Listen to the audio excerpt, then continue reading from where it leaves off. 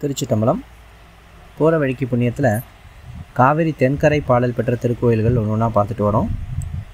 இன்றைக்கி தலவரிசையில் நூற்றி இருபத்தி நான்காவது திருத்தலமான அருள்மிகு வாய்மூர்நாதர் திருக்கோவில் திருவாய்மூர். இந்த திருத்தலம் பற்றின ஒரு சிறு தொகுப்பை நம்ம இன்றைக்கி பார்க்க போகிறோம் இந்த திருத்தலம் திருவாரூர் வேதாரண்யம் சாலையில் திருக்குவளை வழியாக போகும்போது சுமார் ஒரு ஐந்து கிலோமீட்டர் தொலைவிலேயே இந்த திருத்தலத்தை நம்ம அடைஞ்சிடலாம். இறைவனுடைய திருப்பெயர் வாய்மூர்நாதர் இறைவி பாலி நன்மொழியாள் தீர்த்தம் சூரிய தீர்த்தம் அப்பர் மற்றும் சமந்தர் இவர்களால் பாடல் பெற பெற்ற அற்புதமான திருத்தலம் இந்த திருவாய்மூர். இந்த திருத்தலத்துக்கு ஒரு அதிகாலை பொழுதில் நான் போயிருந்தேன். ரொம்ப அமைதியான ஒரு இடத்துல இந்த திருக்கோவில் அமைஞ்சிருக்கு.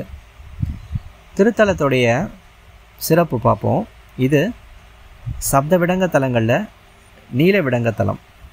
தியாகராஜா சன்னதியில் விடங்கர் சிவலிங்கத்தை நம்ம தரிசனம் பண்ணலாம். இது வந்து கமல நடனம்.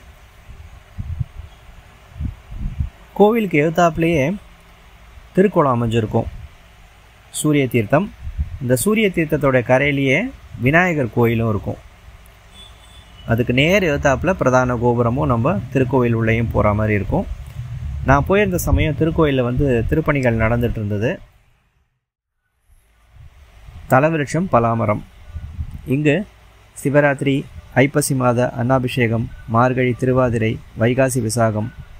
இப்படி சிறப்பான திருவிழாக்கள் ரொம்ப அற்புதமாக விமரிசையாக நடைபெறுகிறது. இங்கு அஷ்ட பைரவர்களை நம்ம தரிசனம் செய்யலாம்.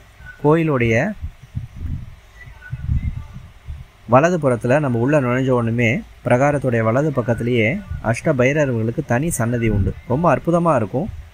இங்கு நான்கு பைரவர்களை வந்து நம்ம சிலை உருவில் பார்க்கலாம். மீதி நான்கு பைரவர்களை வந்து தண்டம் அதாவது தண்ட உருவத்தில் வச்சுருப்பாங்க. மூன்று நிலைகளுடைய ராஜகோபுரம் கிழக்கு நோக்கி காட்சியளிக்குது. வெள்ளிச்சூட்டில் நால்வர் பைரவர் சன்னதி விநாயகர் வள்ளி தேவான சமேத சுப்பிரமணியர் மகாலட்சுமி சன்னதிகளை நம்ம தரிசிக்கலாம். அதுபோல் நடராஜர் சபை இங்கே உள்ளது. நடராஜர் வந்து அழகான மூர்த்தி இங்கே. அதுபோல் மற்றும் ஒரு சிறப்பு இந்த தளத்தில் நவகிரகங்கள் வந்து ஒரே வரிசையில் இருக்கிறத நம்ம பார்க்கலாம். மூலவருக்கு தென்புறத்தில் தியாகராஜர் நீலவிடங்கருடைய சன்னதியை நம்ம தரிசனம் செய்யலாம். வடப்புறம் வேதாரண்யேஸ்வரருடைய சன்னதியை நம்ம தரிசனம் பண்ணலாம். இந்த திருக்கோவில் முசுகுந்த சக்கரவர்த்தியால் கட்டப்பட்டது. அதுபோல் சோழ மன்னர்களால் புதுப்பிக்கப்பட்டது கல்வெட்டுகள் பல உள்ளது. மூலவருடைய கோஷ்டத்தில் இருக்கிற தட்சிணாமூர்த்தி வந்து ரிஷப வாகனத்தில் காட்சியளிக்கிறார் இங்கே. வாய்மூர் அப்படிங்கிறது வாய்மையர் ஊர் அப்படிங்கிறதே மருவி வாய்மூர் என ஆனது. இங்குள்ள தியாகராஜர் வந்து நீல விடங்கர் நடனம் வந்து கமல நடனம் சிம்மாசனம் வந்து ரத்ன சிம்மாசனம். பிரம்மன் முதலான தேவர்கள் வந்து தாரகாசுரனுடைய தீய செயல்களுக்கு பயந்து பறவை உருவம் எடுத்து சஞ்சரிக்கையில் இந்த தலத்துக்கு வந்து பிரச்சண்ட மாரத தீர்த்தம். இதில் நீராடி பெருமானை வழிபட்டு பாவம் நீங்க பெறுகிறார்கள்.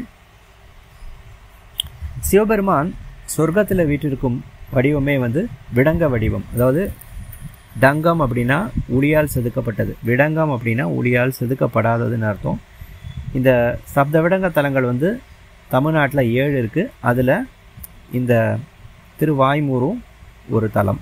ரொம்ப அற்புதமான ஒரு திருக்கோவில் இது.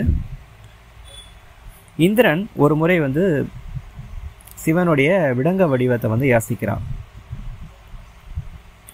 அப்போது அந்த லிங்கத்தை வந்து சிவபெருமான் கொடுக்க அதை வந்து இந்திரலோகத்தை வச்சு பூஜை செய்யணும் அப்படிங்கிறது ரொம்ப கஷ்டம். இருந்தாலும் இந்திரன் வற்புறுத்தியதுனால சிவபெருமான் வந்து விடங்க வடிவத்தை அவனோட கொடுக்குறார். இதனோட சிறப்பை உணர்ந்த இந்திரன் வந்து பூஜையை வந்து நல்ல முறையில் நடத்தி வருகிறான். ஆனால் சிவபெருமானும் அந்த சிவலிங்கம் வந்து பூலோகத்தில் இருக்கணும்னு விருப்பப்படுகிறார். முசுகுந்த சக்கரவர்த்தி அப்படிங்கிறவன் வந்து பூவுலக ஆண்டு வந்த போது மக்கள் எல்லாரும் மிருகங்களால் ரொம்ப துன்பப்படுறாங்க. எனவே அவர் வந்து வேட்டைக்கு செல்கிறார். வடபகுதியில் வேட்டையை முடிச்சுட்டு காவிரி கரைக்கு அவர் வரும்போது அது ஒரு சிவராத்திரி பொழுது.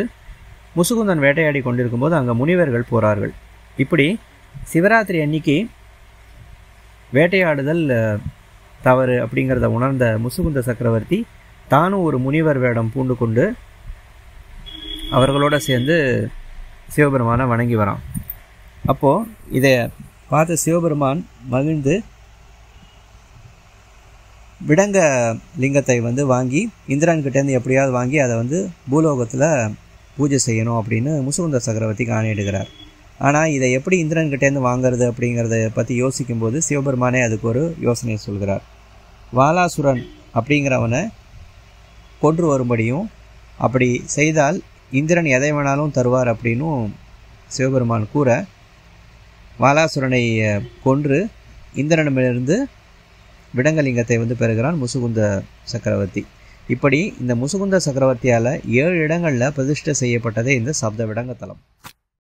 இந்த கோயிலில் இருக்கிற எட்டு பைரவர்கள் இவர்களை வந்து தரிசித்தால் பயம் வந்து விலகும். திரேம்பாஷ்டகமி.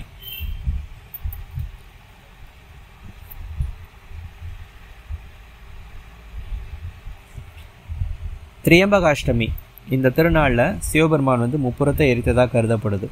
இங்கே விசேஷமே என்ன அப்படின்னா நான்கு பைரவர் வந்து சிலை உருவில் இருக்கும். நான்கு தண்டங்கள் வந்து பைரவ அம்சமாக பூஜிக்கப்படுது. இங்கே உள்ள இறைவன் வந்து சுயம்பு மூர்த்தி அருள் பாலிக்கிறார். அம்பாளுடைய திருப்பெயர் வந்து பாலி நன்மொழியாள். திருமறை காட்டில் அப்பரும் திருஞான சம்பந்தரும் கதவு திறக்க பதிகம் பாடுகிறார்கள். அது முடிந்து அன்று இரவு பொழுதில் சிவபெருமான் வந்து அப்பருடைய கனவில் வந்து நாம் வாய்மூரில் இருப்போம் வா அப்படின்னு அழைக்கிறார். உடனே பதறி அடிச்சுட்டு அப்பர் பெருமான் தூக்கத்திலிருந்து எழுந்து விரைந்து வாய்மூர் நோக்கி செல்கிறார்.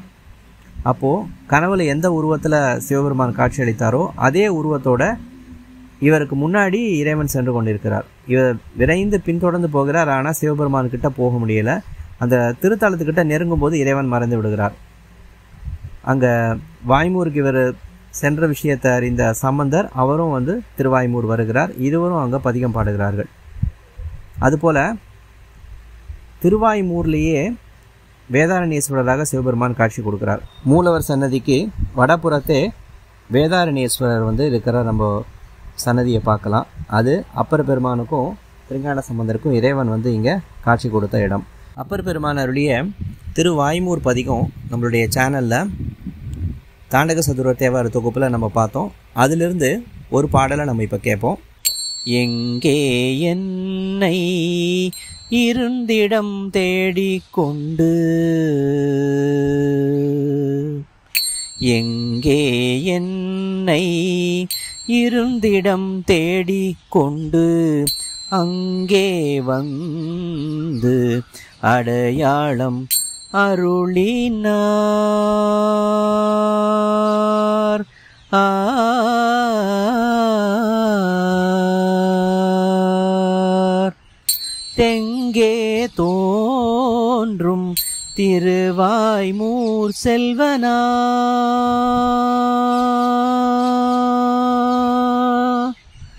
தெங்கே தோன்றும் திருவாய்மூர் செல்வனார் தெங்கே தோன்றும்.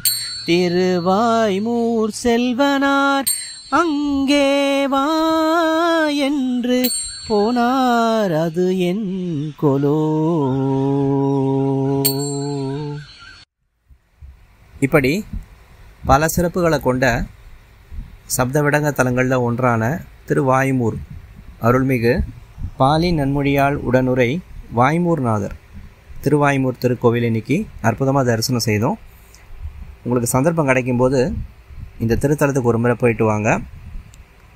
அடுத்த பதிவில் மற்றும் ஒரு சிறப்பான திருத்தலம் பற்றின தகவலுடன் உங்களை சந்திக்கும் வரை திருச்சிற்றம்பலம்.